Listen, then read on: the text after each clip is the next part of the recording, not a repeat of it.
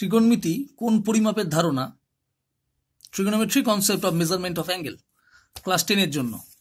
আমরা জ্যামিতিতে কোন বলতে দেখেছি যে একটি দুটি রশ্মি, যেমন এই ছবির ক্ষেত্রে ও এ এবং ও বি যদি একটি প্রান্ত থেকে দুটো রশ্মি বেরিয়ে যায়, তাহলে তাদের মধ্যবর্তী একটা কোণ তৈরি হয়। বা আমরা বলতে পারি, দুটো রেখা যদি পরস্পরকে ছেদ করে, তাহলে তাদের ছেদ বিন্দুতে কোণ তৈরি হয়। যেমন এক্ষেত্রে দেখছি এ বি একটি রেখাংশ আর সিডি আরেকটি রেখাংশ পরস্পরকে ধরে নিলাম পি বিন্দুতে ছেদ করেছে। তাহলে এখান থেকে এপি ডি একটা কোণ তৈরি হলো বিপি ডি আর একটা কোণ তৈরি হলো সিপি বি আর একটা কোণ তৈরি হলো, বা এপিসি আর একটা কোণ তৈরি হলো। এটা ছিল আমাদের জ্যামিতিতে কোণ সম্পর্কে আমাদের ধারণা। ত্রিকোণমিতি যখন শিখছি, আমরা কোণের ধারণাটা একটু পরিবর্তন করব, রশ্মি দিয়ে ব্যাখ্যা করব। যে ধরে নিলাম ও একটি রশ্মি, যে ও এ অবস্থান থেকে ওবি অবস্থানে গেল ও এ অবস্থানটা প্রাথমিক অবস্থান এবং ওবি অবস্থানটা অন্তিম অবস্থান। ও থেকে ওবি অবস্থানে গিয়ে সে একটা কোণ তৈরি করল। আমি আলোচনার সুবিধা ধরে নিলাম, এই কোণের মানটা হচ্ছে কত? থিটা।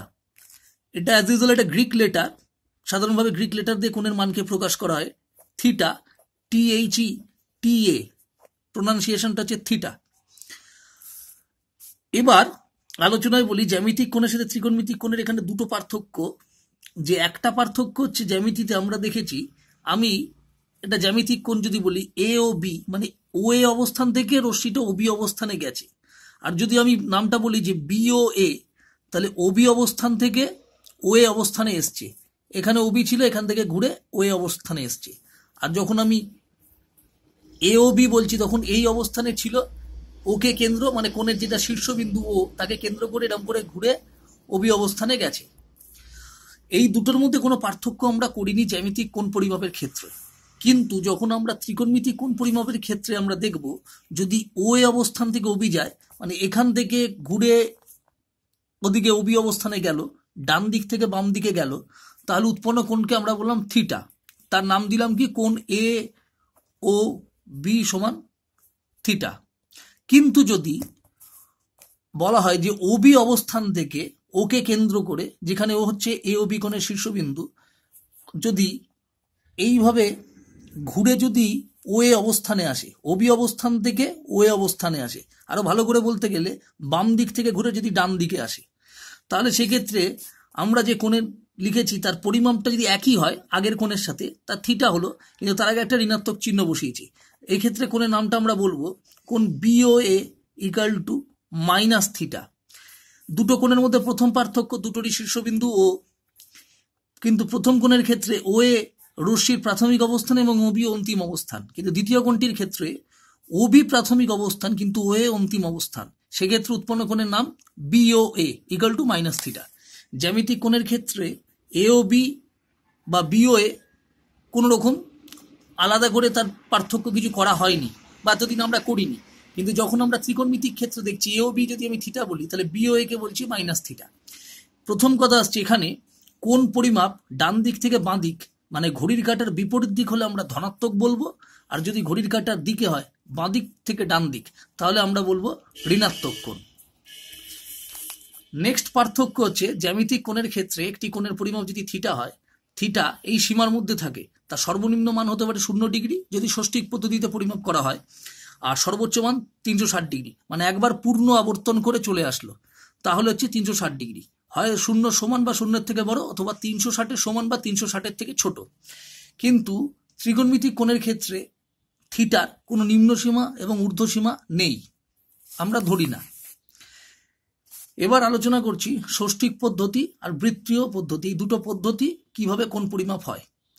এক সমকোণ পরিমাণ কোণকে ষষ্ঠিক পদ্ধতিতে এক সমকোণ পরিমাণ কোণকে নব্বই ডিগ্রি ধরা হয়। এক ডিগ্রি সমান ষাট মিনিট, এক সেকেন্ড, এক মিনিট সমান ষাট সেকেন্ড। মাথায় একটা দাগ মানে মিনিটের চিহ্ন, আর এখানে মাথায় দুটো দাগ মানে সেকেন্ডের চিহ্ন। এক সমকোণ পরিমাণ কোণকে নব্বইটা সমান ভাগে ভাগ করলে প্রত্যেকটা ভাগের মান এক ডিগ্রি। তার জন্য এক সমকোণ পুরোপুরি মোট কোণ সমান হচ্ছে নব্বইটা ডিগ্রি। নব্বই ডিগ্রি সমষ্টি সমান, তার মানে নব্বইটি এক ডিগ্রি সমষ্টি সমান। তার জন্য নব্বই ডিগ্রি। এক ডিগ্রি পরিমাণ কোণকে ষাটটা সমান ভাগে ভাগ করলে প্রত্যেকটি ভাগকে আমরা বলব এক মিনিট। তাহলে এক ডিগ্রি সমান ষাট মিনিট, কেন ষাটটি সমান ভাগ হয়েছে? এবং প্রত্যেকটা ভাগ এক মিনিট করে, তাহলে প্রত্যেকটা ভাগের সমষ্টি মানে ষাটটা ভাগ আছে, ষাট, এক এক এক এক করে ষাটটি এক, তাহলে মোট ষাট মিনিট। একইভাবে এক সেকেন্ড, এক সরি এক মিনিট পরিমাণ কোণের কে এক মিনিট পরিমাণ কোণ সমান হচ্ছে ষাট সেকেন্ড পরিমাণ কোণ। মানে এক মিনিট পরিমাণ কোণকে যদি ষাটটা সমান ভাগে ভাগ করা হয়, তাহলে প্রত্যেক ভাগকে আমরা বলব এক সেকেন্ড। অপরদিকে বৃত্তীয় পদ্ধতি কোন পরিমাপের ক্ষেত্রে কি করা হয়? ধরে নেওয়া হচ্ছে যেহেতু বৃত্ত ব্যবহার করে কোন পরিমাপ করা হয় তার জন্য এটাকে বলা হয় বৃত্তীয় পদ্ধতি। ধরে নিলাম যে ও এ একটি বৃত্তের ব্যাসার্ধ, একটি ও কেন্দ্রীয় বৃত্ত, তার একটি ব্যাসার্ধ আমি অঙ্কন করে নিয়েছি ও এ ব্যাসার্ধের দৈর্ঘ্য হচ্ছে আর একক। এখন একজন এ অবস্থানে থেকে যদি হেঁটে বি অবস্থানে যায়, সে কোন দিকে গেলে দিকটা আমি পরে আলোচনা করব। দিকটা না আগে কোনটা কি করে পরিমাপ হয় সেটা দেখি। ঘড়ির কাঁটার বিপরীত দিকে হাঁটছে, অবশ্যই যেমন এ থেকে বি এর দিকে, ডান দিক থেকে বা দিকে যাচ্ছে। তাহলে কোন পরিমাপে ধনাত্মক চিহ্ন আসবে? আর যদি বি থেকে এর দিকে আসতো, ঘড়ির কাঁটার দিকে ফ্রম লেফট টু রাইট বা দিক থেকে ডান দিকে আসতো, তাহলে কোন পরিমাপের ক্ষেত্রে আমরা ঋণাত্মক চিহ্ন ব্যবহার করতাম? তাহলে এখন এ থেকে বি এর দিকে গেছে। আমি ধরলাম এই যে এ বি অংশটা বৃত্তের পরিধির অংশ, তার জন্য এটাকে আমরা বলব বৃত্তচাপ। এখন এই বৃত্তচাপ এ থেকে বি বরাবর একজন হেঁটে পৌঁছালো। তাহলে তার প্রাথমিক অবস্থান ছিল এ, অন্তিম অবস্থান হলো বি। দুটো অবস্থানকে যদি আমি কেন্দ্র এর সাথে দুটো রেখাংশ দিয়ে যুক্ত করে দিই, তাহলে মাঝখানে একটা কোণ তৈরি হলো। এখন এই কোণের মান যদি থিটা হয়, তাহলে থিটার পরিমাপ আমরা করব বৃত্তীয় পদ্ধতিতে থিটা সমান এস বাই আর, যেখানে এস হচ্ছে বৃত্তচাপ। এটা হচ্ছে বৃত্তচাপের দৈর্ঘ্য।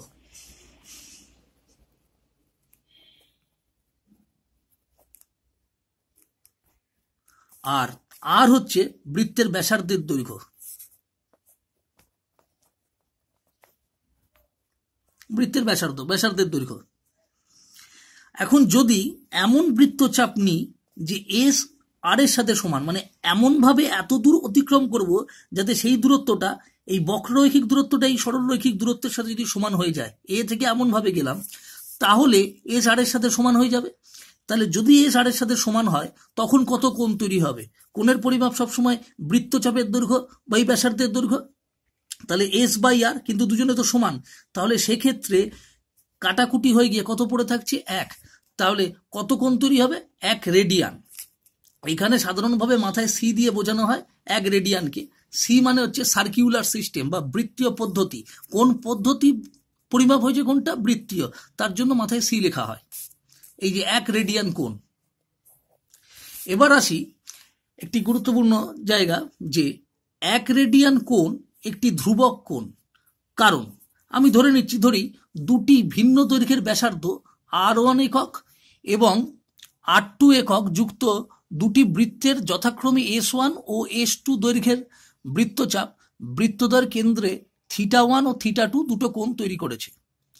দুটো ব্যাসার্ধ, একটা আর ওয়ান একটা আর টু দুজন, দুটো বৃত্তের ক্ষেত্রে যারা আর ওয়ান ব্যাসার্ধ, তার এস ওয়ান দৈর্ঘ্যের বৃত্তচাপ, আর যারা আর টু ব্যাসার্ধ, তার এস টু দৈর্ঘ্যের বৃত্তচাপ।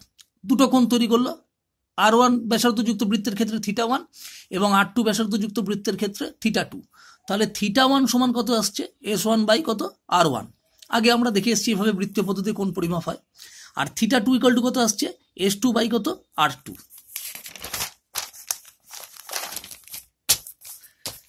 এখন থিটা ওয়ান সমান S one by R one এই ছবি অনুযায়ী ছবিতে দেখতে পাচ্ছি। এই দৈর্ঘ্য বৃত্তচাপটা হচ্ছে এস ওয়ান আর এই দিকের বৃত্তচাপটা হচ্ছে কত? এস টু কিউ কেন্দ্রীয় বৃত্তের ব্যাসার্ধ যেখানে আর টু আর এখানে ও কেন্দ্রীয় বৃত্তের ব্যাসার্ধ হচ্ছে এখানে আর ওয়ান এটা হলো, এখন আমি বলছি, থিটা ওয়ান সমান এক রেডিয়ান হতে হলে S one equal to R one হবে? অথবা একইভাবে S two equal to R two হলে থিটা টু ইকুয়াল টু এক রেডিয়ান হবে?